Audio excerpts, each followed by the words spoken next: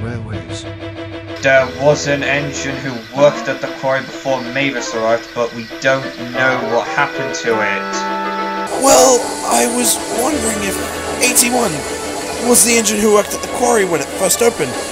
Billy told us about it back in September, and Thomas and I doubted if it was real, but uh, he played a joke on us. And, well, I'm not sure if it was real or not. Well, from what I heard, he was one of the engines who worked here when it first opened in 1924, but after he was scrapped after his fall, another engine took his place. I was still wondering about the engine who worked at the quarry before Mavis arrived. I Actually, remember seeing her when she was first bought. What was her name? Her name was Tasha. She was a red saddle tank engine who was built by St. Rollox Works in 1883 for Donovan Douglas's old railway, the Caledonia. She mostly sent the trucks to the other engines. In 1924, following Eddie Monsell, the Farquhar Quarry needed another engine to replace him after was scrapped. She was brought to the quarry Tasha after Tasha Stone, who had become the wife of Lady's original owner, Bernat Stone. See what I mean, Percy? In 1945, she was taking a train to Stone to the harbour, but on the way she broke down and she couldn't continue the journey. So she was taken off the train.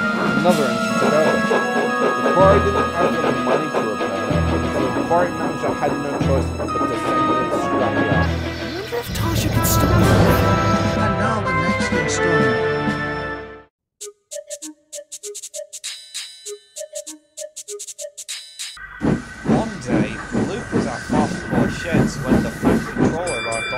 Bulgy.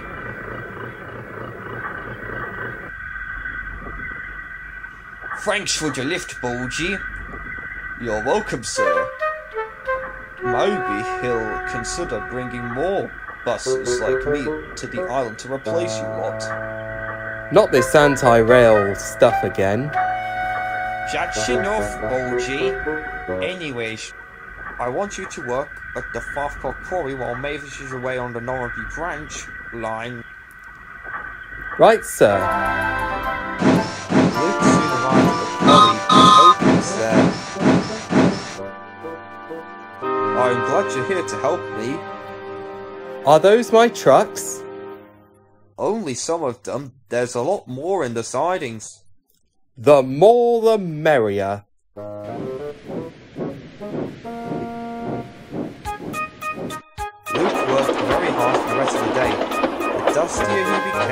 Harder he worked.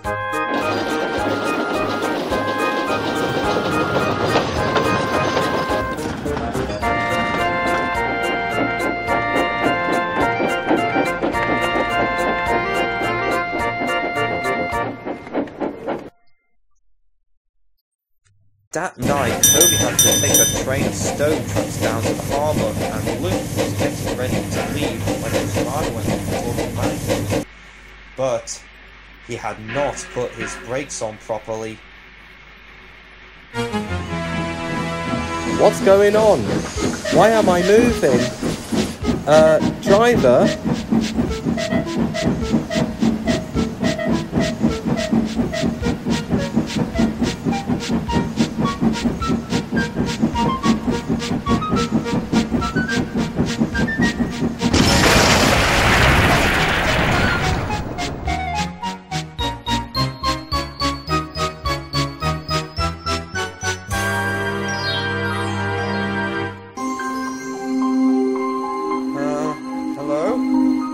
Who are you?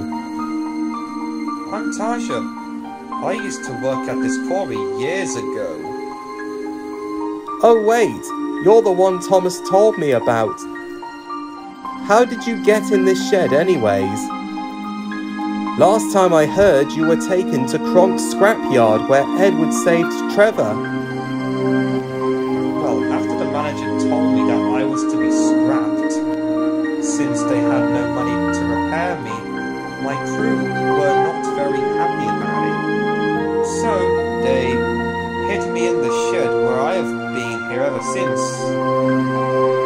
Maybe I'll ask my driver to tell the Fat Controller to restore you at Crovan's Gate.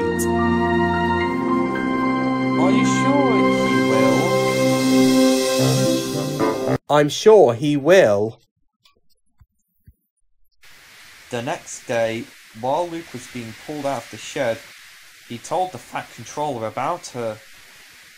So, does that mean she wasn't scrapped after all? Percy did say he wondered if she still could be around. I'll go and check. You must be Tasha, I believe.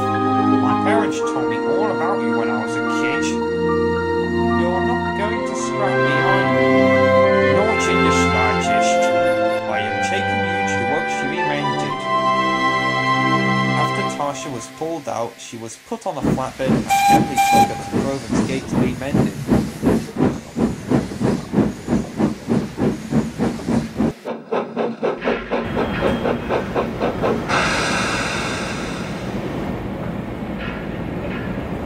Don't worry, my friend. We'll have you back to working order in no time.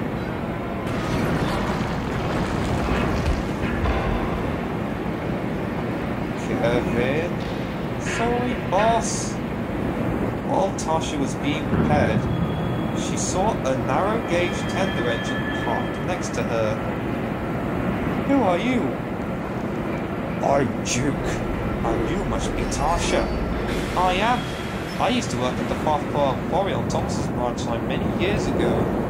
But I was later locked up in a shed to avoid being scrapped, and I was there for over 70 years. I was locked up in a shed as well after my old rowing closed down in 1947. Well, at least until I was found by the fat clergyman and the thin clergyman in 1969, and they put me in a book called Duke the Lost Engine.